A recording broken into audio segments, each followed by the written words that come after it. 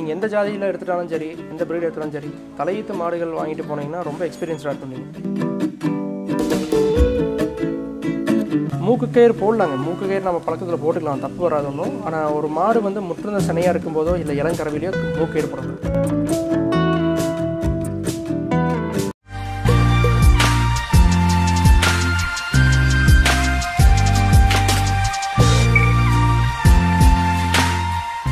பசுமை விவசாய உலகம் சேனல் நண்பர்கள் அனைவருக்கும் வணக்கம். நான் உங்கள் ரவீந்திரன். நம்ம ஆல்ரெடி ருத்ரா ஃபார்ம்ஸோட பேக்கரி அது அதுக்கப்புறம் பேக்கரி பக்கத்தில் இருக்கிற மாடுகளை பற்றி வீடியோ எடுத்திருந்தோம். காங்கிரேஜ் மாட்டை பற்றி அருமையான தகவல் சொல்லியிருந்தார் ராஜேஷ் சார் இந்த வீடியோவில் நம்ம பார்க்க போகிறது எதனால் ராஜேஷ் சார் அவரோட ஃபார்மில் வந்து காங்கிரேஜ் மாட்டை விட கிர் மாட்டில் என்ன ஒரு டிஃப்ரெண்ட் இருக்குது அதை பற்றி நம்ம பார்க்க போகிறோம் சார் வணக்கம். வணக்கம். சார் நம்ம சேனலுக்காக ஏற்கனவே வீடியோ கொடுத்துருந்தீங்க. சார் உங்களோட ஃபார்மில் வந்து நீங்கள் எப்போவுமே காங்கிரேஜ் மாடுகள் அதிகமாக அதான் வந்து அதிகமாக சூஸ் பண்ணுறதா சொல்லியிருந்தீங்க. எதனால் காங்கிரேஜ் காங்கிரேஜை விட கிர் வந்து எந்த வகையில் டிஃப்ரெண்ட்டாக இருக்குது சார் முதல்ல நான் சொன்ன மாதிரி தான். காங்கிரேஜ் வந்து எல்லாத்துலேயும் பெஸ்ட்டுன்னு சொன்னேன். அதுக்காக மற்ற மாடுகள்லாம் வந்துட்டு ஆகாதுன்னு சொல்ல வரல. கிர் அடுத்தது நல்ல மாடு தான். அதுக்கு அடுத்த மாடு நான் சொல்கிறது கிர் தான் சொல்லுவேன். ஓகே. கிரில் பார்த்தீங்கன்னா நம்ம ஏன் காங்கிரேஜ் பால் மட்டும்தான் தன்மை தான் வித்தியாசமே ஒழிய மற்றபடி அதுவும் ஸ்ட்ராங்கான பிரீடு தான்.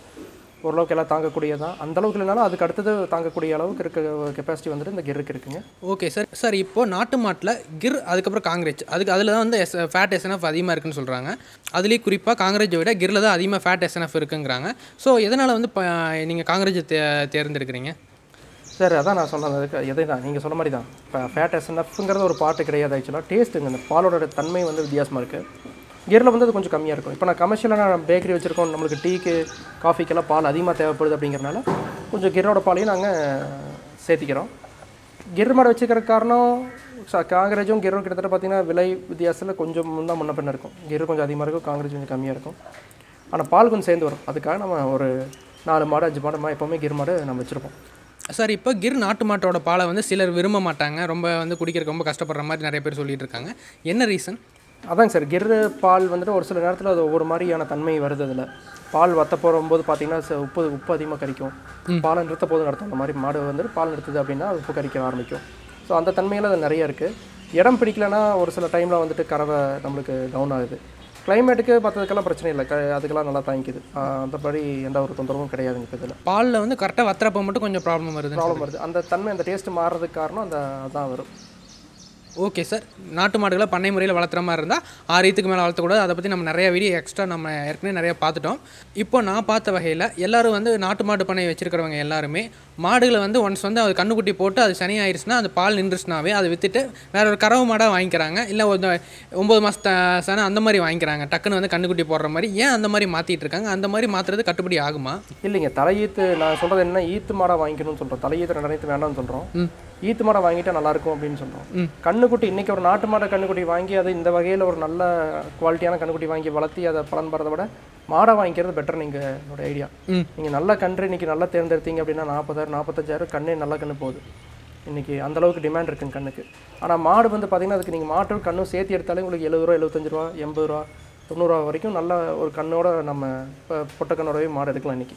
இன்னைக்கு அந்த மாதிரி தான் சுச்சுவேஷன் இருக்குது அதுக்காக நாங்கள் என்ன சொல்கிறோன்னா கண்டிப்பாக நீங்கள் மாடு போய்க்கிறது பெட்டருமோ ஈத்து மாடு அதிக ஈத்து போக போக பால் அதிகமாக வரும் மூணாவது ஈத்தில் தான் முழு மாடு வந்து முழுமையடையும்னு சொல்லுவாங்க. அப்போ நான் என்ன தலை ஈத்து வந்து நீங்கள் எடுத்து ட்ரெயின் பண்ணி அது ரொம்ப கஷ்டமாக இருக்கும். அது போய் உங்களோட ச- ஏதாவது இடைஞ்சல் பண்ணலாம். ஒரு சில மாடு இடைஞ்சல் பண்ணுறதுல ஒரு சில மாடு இடைஞ்சல் பண்ணுது. ஆனால் ரெண்டாவது ஈத்து மூணாவது ஈத்து போயிட்டீங்க அப்படின்னா ரொம்ப ரொம்ப பெட்டர் ஈஸியாக அடாப்ட் ஆகிக்கும். அதுக்கு அந்த பக்குவம் இருக்கும். அந்த வயசு அந்த பக்குவம் கிடச்சிடும் அதுக்கு. ஓகே சார் சார் இப்போ நாட்டு மாட்டு பண்ணை வச்சுருக்காங்க. ஒவ்வொருத்தரும் ஒவ்வொரு ஸ்டைலில் பண்ண வச்சுருப்பாங்க. உதாரணத்துக்கு ஒருத்தர் கிர் மாடுகள் மட்டுமே வச்சுருப்பாங்க இல்லை காங்கிரஸ் மாடுகளே வச்சுருப்பாங்க. இல்லை எல்லா மா ஆறு வகையான பால் ரக மாட்டி கலந்து வச்சுருப்பாங்க. ஸோ இப்போ எனக்கு என்ன சந்தேகம்னா இப்போ ஆறு வகையான பால் மா ரக மாடுகளே வச்சுருக்காங்க. அப்படி வச்சுருக்கிறப்போ எல்லா பாலையும் ஒன்றா மிக்ஸ் பண்ணி தான் அவங்க வந்து பாலை சேல் பண்ணி ஆகணும். அப்படி சேல் பண்ணுறக்கோ டேரெக்டாக வந்து கிர் மாட்டு பால்னால் கிர் மாட்டு பால் காங்கிரஸ் மாட்டு பால்னா காங்கிரஸ் மாட்டு பால் அப்படி கொடுக்குறதுக்கு என்ன ஒரு வித்தியாசம்? சார் நீங்கள் ஒரே பிரீடு போய்க்கிறது நான் பெட்டர்னு சொல்லுவேன் அதிக மாடு வாங்குறீங்க அப்படின்னா ஒரே பிரீடு போயிட்டு அப்படின்னா அதுக்கு காலையை வச்சு மெயின்டைன் பண்ணிக்கலாம் ஈஸியாக ஒரு காலை நிறுத்திக்கலாம். அதே மாதிரி வந்து பாலோட தன்மை வந்து ஒரே மாதிரி இருக்கும். உங்களுக்கு மாற்றம் வராது. ஏற்றம் இறக்கம் இருக்காது. ஸோ பால் குவாலிட்டியாக நல்லா போகும். அதுக்கு நான் ஃபஸ்ட்டு நான் தான் உங்களுக்கு போன இதில் வீடியோவில் சொன்ன மாதிரி ஃபஸ்ட்டு வந்து காங்கிரேஜ் வந்து பெட்டர்னு சொன்னோம். அதை விட்டு அதுக்கு அடுத்து வந்து கிர்ரை வந்து ஓகே ஓரளவுக்கு பரவாயில்ல அப்படின்னு சொல்கிறோம் அது அதான் ரீசன் ஓகே சார் ஸோ இப்போ பால் வந்து மிக்ஸ் பண்ணி கொடுக்குறனால வந்து பாலோட தன்மை டோட்டலாக மாறிடுது தன்மை மாறும். கண்டிப்பாக மாறுங்க. எச்சு கம்மி வரும். ஒரு நாளைக்கு ஒரு மாதிரி இருக்கும். அதில் ஒரு மாதிரி இருக்குது இதில் ஒரு மாதிரி ஒரே மாடு பால் இருக்கும்போது கொஞ்சம் நல்லா இருக்கும். ஓகே சார் அப்படின்னா பண்ணை வச்சிருக்கிறவங்க எல்லாருமே வந்து ஒரே வந்துட்டு ஒன்று அப்படி இல்லாட்டி ரெண்டு பிரீட் போய்க்கலாம். ஏதோ கிர் ரெண்டு காங்கிரேஜ் அந்த மாதிரி ரெண்டு இதுக்கு போய்க்கலாம். அது பெட்டராக இருக்கும். அதிகமாக போகக்கூடாது. நாலு நாலு பிரீட் அஞ்சு பிரீட் போயிட்டோம் அப்படின்னா கொஞ்சம் கஷ்டமாக இருக்கும். ஓகே சார் பராமரிக்கிறதும் கஷ்டம். அதுக்கு காலை வச்சு பராமரித்து மெயின்டைன் பண்ணுறது ரொம்ப கஷ்டமாக இருக்கும். சார் இப்போ நாட்டு மாடு செனை பிடிக்கிறதுல வந்து கிர் மாடுகள் கொஞ்சம் நிறைய பேர் வந்து செனை பிடிக்க மாட்டேங்குதுன்னு சிக்கல் சொல்லிக்கிட்டே இருக்காங்க. போன வீடியோலேயே சொன்னீங்க மாடுனா வந்து நீங்கள் வெளியே கொண்டு போய் மேய்க்கணும் அடைச்சே வச்சிருக்க கூடாதுன்னு. ஸோ கிர் மாடுகள் எதனால் இந்த மாதிரியான பிரச்சனைகள்லாம் வருது? கிர் மாட்டை பற்றின உங்களுக்கு நீங்கள் வியாபாரம் பண்ணிட்டு இருக்கீங்க அது அதை அதை மீது வந்து உங்களுக்கு வர கம்ப்ளைண்ட்லாம் என்னென்ன? சார் இப்போ நல்லா பராமரிச்சுட்டு வரவங்களுக்கு எந்த மாடுமே செனை பிடிக்காம போகிறதெல்லாம் இல்லைங்க. எல்லா மாடுமே செனை பிடிக்குது. அவங்க வந்து பராமரிக்கிற முறை தான் நான் தப்புங்கிறேன்.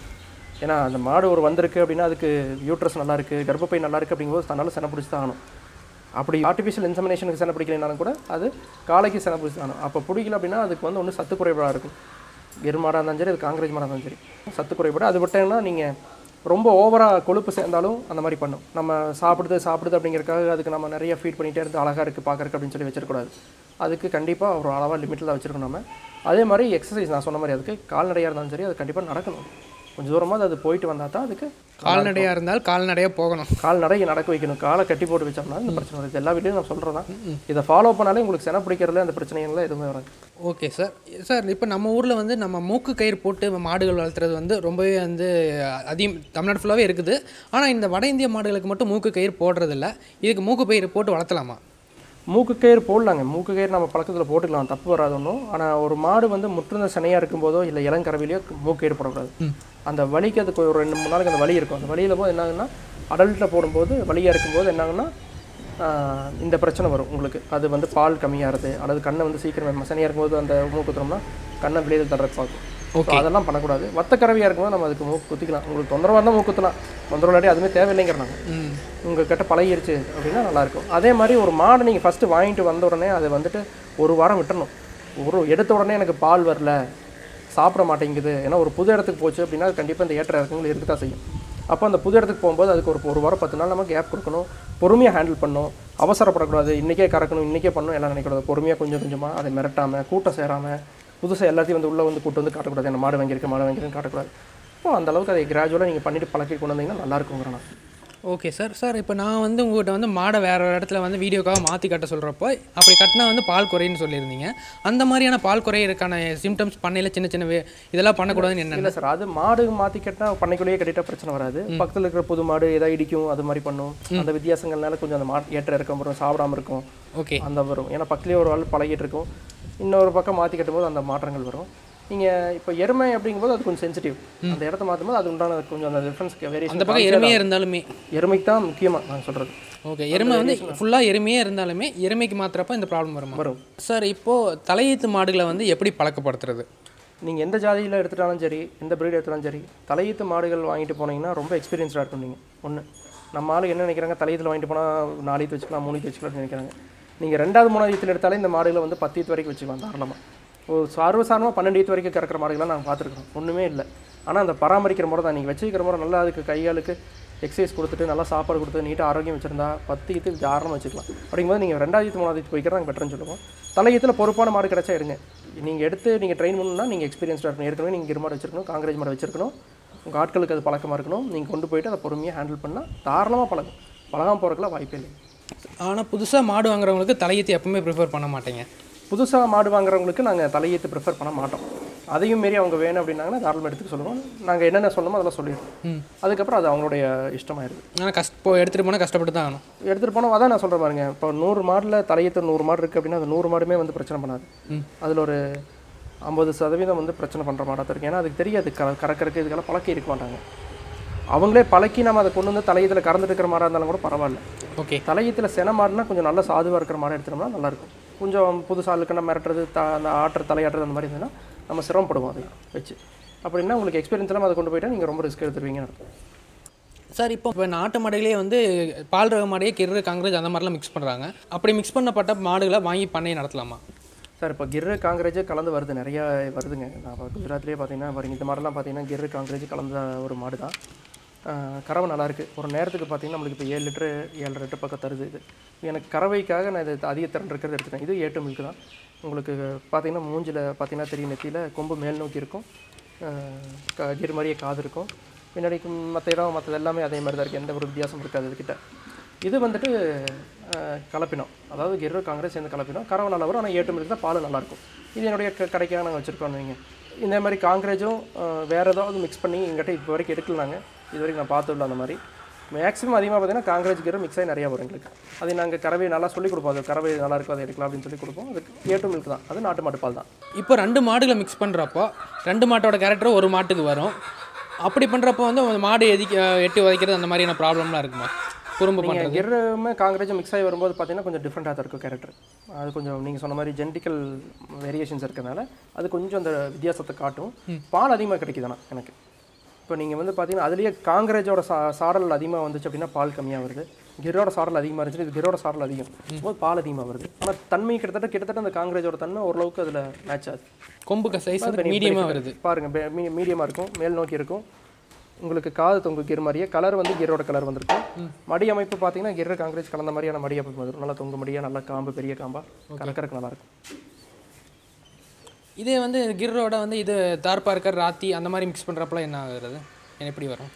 கிரோட தார் பார்க்கர் ஆட்டி இது வரைக்கும் மிக்ஸ் பண்ணி நான் பார்த்துலைங்க தெரியல எனக்கு அதை பற்றி ஐடியா இல்லை. ஓகே சார் சார் இப்போ நகோரின்னு ஒரு ப்ரீடு வந்து நம்ம காங்கிரஸோட மிக்ஸ் ஆகி இப்போ நிறைய மாடுகள் வந்துகிட்டு இருக்கு. அது எப்படிங்க சார் அதோட ராஜஸ்தானுங்க. அதாவது ராஜஸ்தான் பார்டரில் பார்த்தீங்கன்னா நகோரி நல்லா மிக்ஸ் ஆகி வரும். அதுவும் நல்லா தான் அது பால் நல்லா தரக்கூடிய ஒரு இதுதான். காங்கிரேஜோட கொஞ்சம் கம்மியாக இருக்குது அதுவும் பால் தன்மை டேஸ்ட்டு டேஸ்ட் நல்லா வித்தியாசம் தெரியும் உங்களுக்கு. காங்கிரேஜ் வந்துட்டு நீங்கள் குஜராத்தில் எடுக்கிறதுக்கும் ராஜஸ்தானில் வர காங்கிரேஜுக்கும் வித்தியாசம் தெரியும். நகோரி மிக்ஸ் ஆகி தான் வரும். வரும். வரும்போது அந்த டேஸ்ட் வரும். பால் அளவு மற்ற எல்லாமே அதே மாதிரி தான் வரும். கொஞ்சம் சேர்ந்தே வரும் அதை விட சொல்ல போனோம் நகோரி. ஓகே அந்த மாடுகளும் வந்து ப்ரிஃபர் வாங்கி வளர்த்தலாமா? தாராளமாக வாங்கி வளர்த்தலாம். அதான் நான் நீங்கள் என்ன நோக்கத்துக்காக வாங்குறீங்கிறது தான் முக்கியம். நீங்கள் பாலை டைரெக்டாக சேல் பண்ணுறீங்களா அதை வேறு கலந்து விற்கிறீங்களா இல்லை எங்கே கொடுக்குறீங்க பாலை? இல்லை இதுக்காக இயற்கை விவசாயத்துக்காக பயன்படுத்துகிறீங்களா அப்படிங்கிறத பொறுத்து நானே அதுக்கு சஜஷன் சொல்லுவோம். நீங்கள் கேட்டீங்க அப்படின்னா நாங்களே சஜஷன் சொல்லுவோம். எங்களோட எக்ஸ்பீரியன்ஸில் எனக்கு என்ன தெரிஞ்சதோ அதை நம்ம சொல்லுவோம். அதை வச்சு நீங்கள் ஒரு முடிவு எடுத்துக்கலாம். நீங்கள் எதுக்கு போகலாம் என்ன பண்ணலாம் அப்படிங்கிற ஒரு முடிவு பண்ணலாம். சார் இப்போ இயற்கை விவசாயத்துக்கு நாட்டு மாடுகள் ரொம்பவே இன்றியமையாததாக இருக்குது நீங்கள் வட இந்திய நாட்டு மாடுகளில் எந்த நாட்டு மாடு வந்து வாங்கி வளர்த்தலாம்? இயற்கை விவசாயம் பண்ணுற மாதிரி இருந்தால் இயற்கை விவசாயத்துக்குன்னு பார்த்தீங்கன்னா நீங்கள் வெறும் இயற்கை விவசாயம் மட்டும் பண்ணுறோம் பால் நம்ம கொடுக்கறதில்ல. பாலை வந்து நாங்கள் வீட்டு யூஸ் வீட்டு வீட்டு யூஸ் பண்ணிவிட்டு மீதியெல்லாம் வந்துட்டு நம்ம இந்த இயற்கை உரம் தயாரிக்கிறதுக்காக பண்ணுறோம் பஞ்சகாவியத்துக்காக பண்ணுறோம் அப்படின்னா நீங்கள் காங்கிரேஜ் மாடு போய்க்கிறது பெட்டர் ஓகே. நல்ல வலுவான ஒரு மாடு. தொந்தரவுகள் வராது. அதே மாதிரி நல்லா பழக்க வளர்றதுக்கு நல்ல மாடுகள். பழகுற வரைக்கும் கஷ்டம். பழகிருக்கப்புறம் ரொம்ப நல்ல மாடுகள் அது. அதுக்கு காங்கிரேஜ் வந்து நாங்கள் ஹண்ட்ரட் பர்சன்ட் நான் ரெக்கமெண்ட் பண்ணுறோம் காங்கிரேஜ் ஓகே சார். ரொம்ப நன்றி சார். உங்களோட ஃபோன் நம்பர் சொல்லிடுங்க நன்றி சார். என்னோட ஃபோன் நம்பர் வந்து பார்த்தீங்க nine zero seven zero five zero seven zero five zero. இன்னொரு நம்பர் வந்துட்டு nine eight six double five double one four double one. ரெண்டு நம்பர் இருக்குங்க. ஒன்றா நான் எடுப்போம் அல்லது என் மேனேஜர் யாராவது ஃபார்மில் யாராவது எடுத்து பேசுவாங்க. நீங்கள் முடிஞ்ச அளவுக்கு வாட்ஸ்அப் பண்ணிட்டீங்கன்னா எங்களுக்கு சௌரியமாக இருக்கும். நிறைய கால் வந்துட்டு இருக்கறனால எல்லாத்துக்கும் பேசி இது பண்ண முடியாது. வாட்ஸ்அப் பண்ணிவிட்டு நாங்கள் ஈஸியாக எங்களுக்கு கம்யூனிகேட் பண்ணிக்கிறதுக்கு நாங்கள் உங்களை தொடர்ந்து அதை ஃபாலோ பண்ணுறதுக்கு எங்களுக்கு ஈஸியாக இருக்கும். ரொம்ப நன்றி சார் நிறைய தகவல் பகிர்ந்துக்கிட்டதுக்கு நன்றி சார் வணக்கம்.